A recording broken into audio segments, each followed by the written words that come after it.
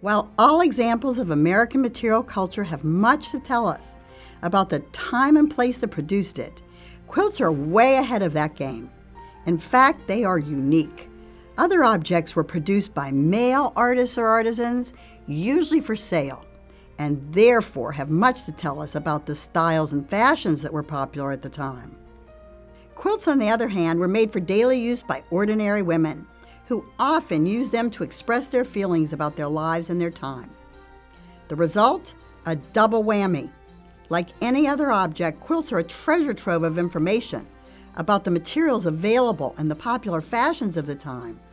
But they can also tell us what people were thinking about and how they were feeling, how they lived, and what their home was like. It's all there in that quilt at the foot of your bed. All you have to do is look.